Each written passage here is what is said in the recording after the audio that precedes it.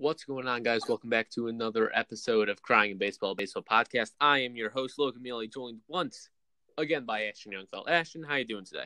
I'm fantastic. How are you, Logan? I am doing good. We we woke up with some big Yankee news. We're going to bed with some big Yankee news. Let's talk about that. So, DJ gets signed, six years, ninety million. First reactions. Let me hear them. My, my first reactions were that that's kind of dirt cheap for what he's worth, right? Oh yeah. But then you realize he's kind of older, right? And and then it's a six year contract. So although it'll be cheap for now, but it, it, if he starts to hit a decline around year four or five, you're paying him a lot of money to probably just be a bench bat. Um, but obviously, you, you do have to look at what they're getting now. They're they're getting the, what was their best hitter last year, one of the best hitters in the AL, um, a very not high price, and, and I thought a lot of people, I think a lot of people thought he was going to get a, around that hundred million dollar range, but on maybe four or five years. So I think per year it's obviously a great deal for the Yankees, but I, I'm not a big fan of how long the deal is. Yeah, I'd agree with that too. I, I feel like I feel like the deal I I have a lot to say on this contract. And I'm going to start with what you ended off with was how long it is. And yeah, I, I do think it's too long. I think six years is too long for was he 32? Oh yeah, yeah. I, I think six years is too long for that. Um, but an ex- an example that makes me mad that he got the price for that amount of years. Josh Donaldson signs a four-year contract worth ninety-two million dollars with a club option for twenty twenty-four. Um, with the Minnesota Twins. He is 32 when he signs that contract, if I remember correctly. That is insane that he plays two less years than LeMahieu and gets paid $2 million more. And they are different players. I understand that Donaldson is more power oriented. He has an MVP under his belt. He has lots and lots of playoff experience. But you know what? LeMahieu is finishing the MVP voting, the, the top five, a multitude of times. And, you know, she I I just think it's I have nothing against the Donaldson deal. I just want LeMahieu's deal to be equal to it. It's it's insane to me that he is not getting what he deserves. I I was really expecting a a in all like a four year hundred and eight million dollar contract. I'm not sure why 108 was the number that popped in my mind, but I I, I really think that you know 25 26 million a year is really where he should be. And i think it's just insane that he doesn't get that. He gets a $3 million raise hypothetically a $3 million raise. And that's that's just that's insane to me. He he deserves more money and less years. Uh, i do have like kind of a quick rebuttal of that. Oh yeah, yeah uh, in, in terms of hitters in baseball power is the last thing that goes. So having a guy like Donaldson for a bit longer isn't isn't as hurtful to a team as potentially having like LeMahieu for longer.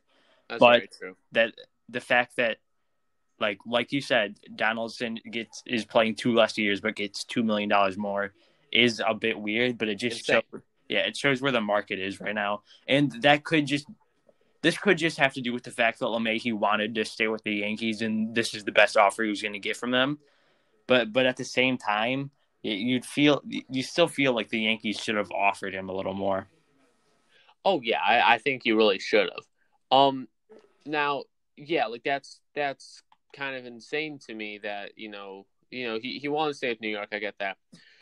Um, so a six year, ninety million dollar contract, but um, the Blue Jays offered him, according to uh Jon Heyman, four years, seventy eight million um, that's it, correct me if I'm wrong, but I'm pretty sure that's a higher AAV for him, and I really think that it's kind of that that he obviously wanted to stay in New York, but you know he he's he deserved in my mind he's one of the best players in baseball and he deserves so much more. And you know, in uh, 2019, he signed a two-year, 24 million dollar contract. He got paid 12 million, $12 million a year. He now gets paid 15. That's he deserves so much more than that. And I'm just mad about that to begin with. But um, it, I think the price he paid for staying with the Yankees, literally and figuratively, was too high. Maybe he just absolutely loved New York and knew that they were going to play, they, that they were you know going to compete for the World Series and all that stuff. And, you know the Blue Jays were kind of a risk, but I mean, I I don't know. I just find that low price just disheartening for the market. Yeah, uh, kind of to add on to that a little bit, and I think one of the reasons he might love New York so much is is that ballpark how like yeah. you keep oh, yeah. like how short the fences are, and I think he might even think that has to do with how successful of a hitter he's been over these past two years. So I, yeah. I think he I think he might just be comfortable uh, in New York and in I mean, I mean he hit ten home runs in sixty in uh, sixty games this year. Yeah, and then you look in 2017 when he was an All Star, he had eight home runs in 150 games or uh, in 155 games. Well, I, I want to correct myself real quick. He only played 50 games and hit 10 home runs. That's that that he, he's even better. But yeah, like you were saying, you know, he plays in Colorado and he's not. It's ironic he plays in Colorado, not really hitting for pop, but you know, go, goes to New York. I mean, that's that's good. I mean, that's good for him. Like you know, we, he he found where he succeeds. Yeah, and and that's obviously, like I said, one of the reasons I think he wanted to stay there. And I know some people are going to say, "Oh, if you want to stay in New York, then go to the Mets." He's comfortable with that team, that clubhouse, management. So it, it yeah, it makes sense he for him to stay. Yeah, um, and you know, I I I thought he should have gotten more money for another reason too. He had the highest batting average in the American League. He won the batting title. And it's just I I I, don't know why I'm so defensive of DJ here. I, I really don't know why. But I just think that he should get paid so much more for being the reigning batting champ, for having an average of a home run every five games. What was that like 1.25 home runs a week or something? I'm not good at math. I don't know the exact number, but I mean, I just think he deserves more than a three million dollar raise for the production he's giving. Yeah, and, and once again, I, I'd probably say that with how weird the market is right now, I think it was uh, more important for him to get a longer contract than uh, that's very true. You're than, right. Like more money. So I, I think I think he kind of just wanted to settle down in New York. Obviously, they're going to be competitive for probably as long as he's there because the Yankees are always competitive. Yeah, and uh, you know, if, if, he wanted to stay in New York, good for him. Um, I'm not gonna be mad at the guy for taking less money to be loyal to like a team that's helped him, but yeah, definitely. Yeah, it definitely. There's obviously more money on the table in terms of AAV, but maybe not necessarily more money in total. So I think he wanted to take that that that guaranteed money with the Yankees for six years, and maybe kind of almost taking a chance on himself to go to Toronto for four years. Yeah, yeah, and I feel like at this point in his career, he wants a ring, and I feel like he kind of knew he wasn't going to get that in Toronto because Toronto's an up and coming team. They might make the play. the The American League this year is going to be extremely competitive for the wild card slots but you know, it's it's yeah. I think he knew that the Blue Jays aren't going to flip that switch probably within the next two years, and four years is just too long of a too long of a risk. Yeah, and to take. And I know we're kind of on the Yankee. Um, what you, you just cut out, Ash. Oh, sorry. Uh, yeah, I kind of want to switch to the Blue Jays for one second. Yeah, yeah. Um, because uh, they've been offering big contracts to all of these guys. Oh, yeah. But it is a bit rare for Toronto to get big American free agents. Like you see the free agents that, that they usually get, they're international guys. And, and that's because there's, there's yeah. a lot that goes into moving to a different country. Uh, for, for especially for the American players, the international players are used to it. They've done it. But the American players, it, it kind of makes more sense for them to stay in the country. So a guy like George Springer and DJ LeMahieu, who they've offered big contracts to, uh, more money than uh, the, well, obviously with DJ, they offered him more AAV than the Yankees did. Um, but it, it's difficult to move to Canada, especially during COVID. So I think these guys are just Yeah. more comfortable staying in the United States. Yeah, you know that that that is like totally respectable, and you know, you understand you got to do what's easiest for yourself. But yeah, you know it's. I'm not sure. I feel like Le- LeMahieu got shorted on this, and I'm rooting for the Blue Jays, and they, they, they aren't getting anything. Oh. All right, what was that? Uh, I was just going to ask if you wanted to move on to uh, Corey Kluber. I would love to move on to Corey Kluber. Now, I, as you heard previously, I was a big fan of the White Sox signing Kluber to get a phenomenal four man rotation. Obviously, the Sox aren't aren't in desperate need for it, but the Yankees were. The Yankees did not have a good pitching staff going into 2021 as of right now. They, they had Gerrit Cole, and that was it. They, Domingo Germán, maybe. Um, you know, I, they might sign back uh, James Paxton. Uh, I think he's a They still have Luis Severino. yeah, it's not Luis Severino, but he seems to always be Yeah. injured.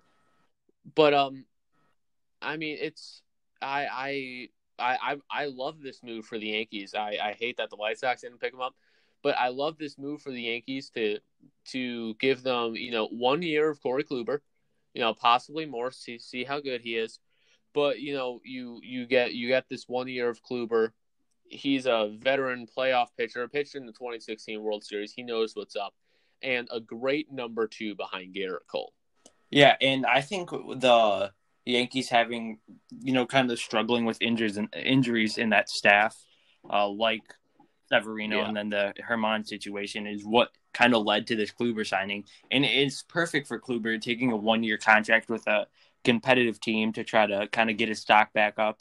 Uh, obviously, there Mhm. were a ton of teams interested, and he just really has not pitched much in these last two seasons. But when he, the, the however many seasons, five seasons prior, he he was one of the best pitchers in baseball. Oh yeah, he uh is he a two time Cy Young Award? Yep. Yeah, he's two time Cy Young Award winner, three time All Star, one time ERA title.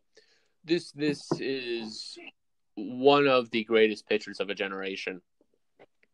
Yeah, that might be pushing a little bit, but uh, he he is a solid, a solid pitcher who has proven his worth before, and now he needs to do it Yeah, again. kind of. I, I know this is kind of off topic, but kind of reverting back to a previous topic we talked about. Uh, obviously, the foreign substance stuff coming out about Kluber didn't affect his stock at Mhm. all. So uh, Oh, I think that that shows how not serious of a situation the substance stuff is. That the Mhm. Yankees were going to just give him eleven million dollars uh, to come pitch. Um, so I, I want I don't know if that necessarily affects like the other free agent pitchers that were involved in that, like maybe a Tyler Chatwood or um, Edwin Jackson. But uh, yeah, sorry, I just wanted to put that in. Oh no, hundred percent. Yeah, I feel like that that kind of gives a signal to everybody that yeah, this is happening, and there's nothing we can really do about it.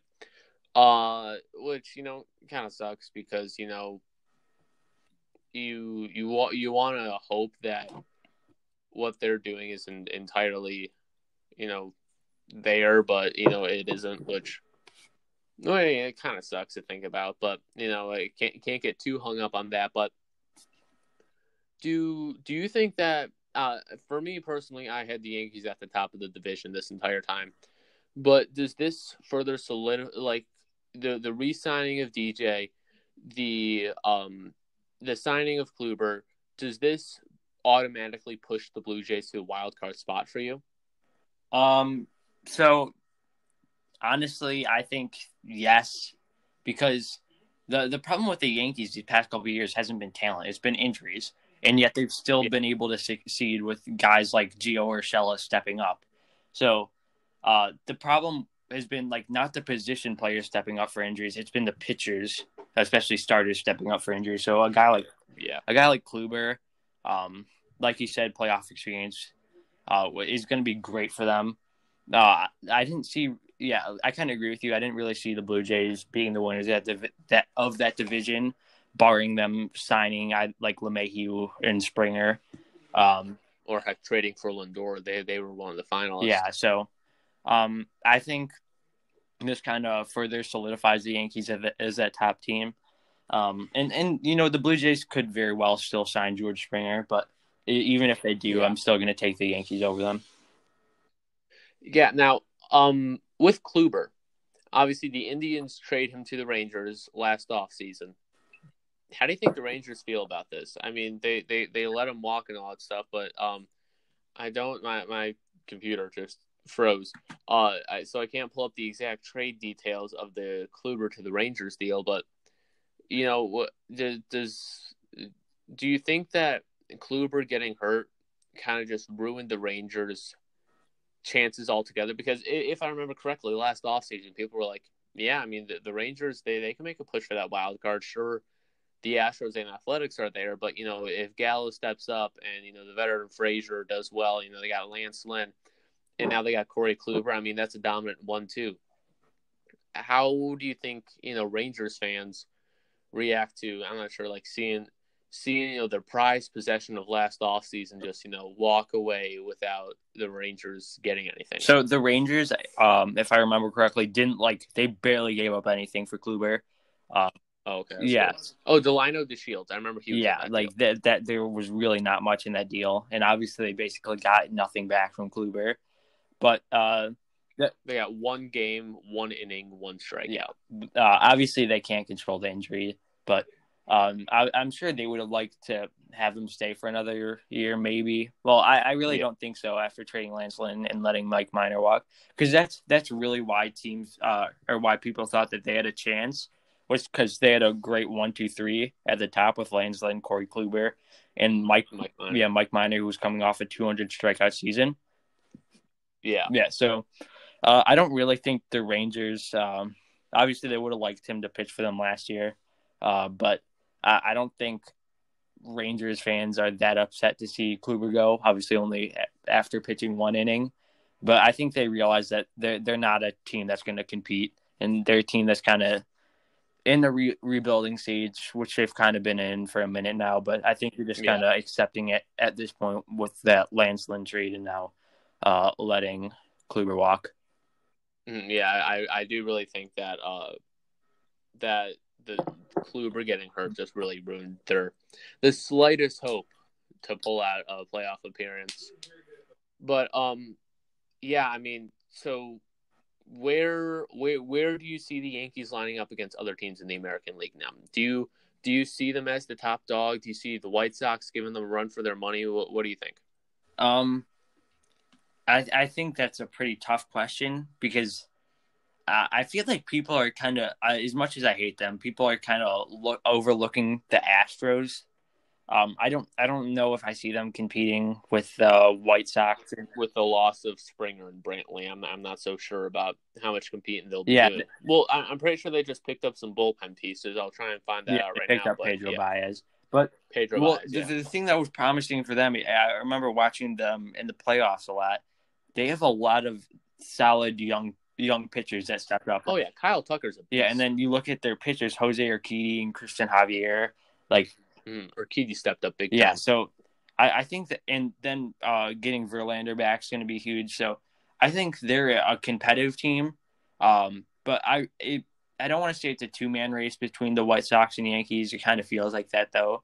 Um, you know, I don't want to discount the Rays because they were just in the World Series, but but they also lost their two best pitchers. yeah, uh, and you know, but the Rays are always competitive. Um, that's true. So are the Athletics. Yeah, so I, I think the Blue Jays, you know, if they get get enough help in that pitching rotation, um, with uh, Nate Pearson, that that one of their top prospects, like who pitched last year, um, maybe taking over the role as the ace. Um, I, I think there's a couple competitive teams like that might be able to surprise some people, but I I really do think it's between the Yankees and the White Sox, and uh, I personally you know, kind of biasly, I think the Yankees are a better team than the White Sox right now. Um, Yeah, I, I mean th- this.